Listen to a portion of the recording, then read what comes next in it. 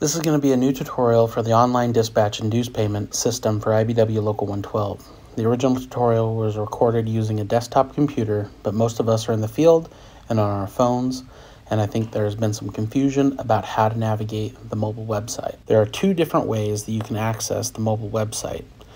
Directly through your browser at ibwlu112.com and navigating to our jobs listing page and clicking on the online dispatch dues payment website. It is also linked under membership resources as well. A common mistake people make when trying to access the online dispatch dues payment website is that they're trying to log in to the wrong website. If you go to our main website and click on the login button, that will not take you to the online dispatch and dues payment. That login is for accessing some parts of our main website and signing up for text message alerts, which you should totally do. But when you do, make sure that you select the SMS option for your carrier so the text messages are formatted correctly. There's also an app that you can download from your phone's app store called Labor Power Mobile. The app looks just like the mobile website, but it will store your login information.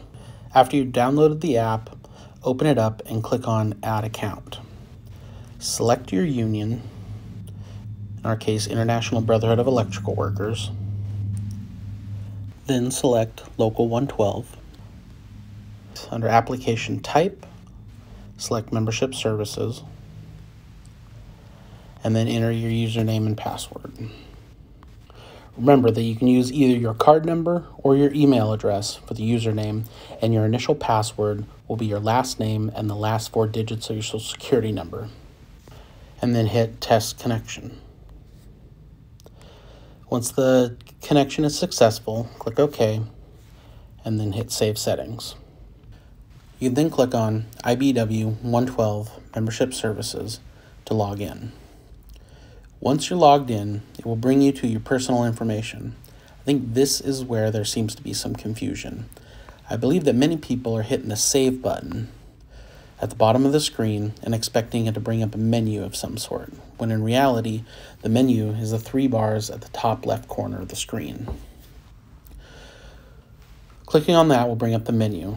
From here, you can modify your personal information, change your password, or change your email. On the Jobs Available page, you can see the jobs that we have for dispatch. After 5 p.m., bidding will be open and there will be a drop down menu next to each call for which you are signed on to that call's books. You can then list your preferences and click Submit Bids at the bottom of the page. After you click Submit Bids, you will get an email confirming your bids. You can change your bids at any time up to 8 a.m., the day of dispatch. At 10 a.m., Dispatch should be done, and any jobs that went unfilled through dispatch will be displayed. Any unfilled calls displayed are for information only, and you must be at the hall to take those. Unfilled calls will be filled on a first come, first serve basis. Next, you can see your job history and the out of work list. If you navigate to the book you're on, you'll see that you are highlighted in red and it will show your bid number, your available position number on the current book, if you have any strikes, and the zones that you're signed up for. On the Hall Hiring Archive page, you can see the calls that have been filled over the last 30 days. They are separated by classification and book number and display the bid numbers that were dispatched to that particular call. Under announcements, you can see our referral procedure and read through that and download that. It's also available on our main website. By clicking on the Manage link under the registration category, you have the ability to remove yourself from our books if Local 112 isn't your home local and you got a job in another jurisdiction. On the registration info page, you can confirm your spot on the book, see what your current bid number is on the book that you were signed up on, see the date you signed, and the deadline for your next confirmation period. When you click on the confirm button, you will get an email confirming that you confirmed, and it will also advance your confirmation period to the next month. For Local 112 members, you will have the option to pay your monthly dues online.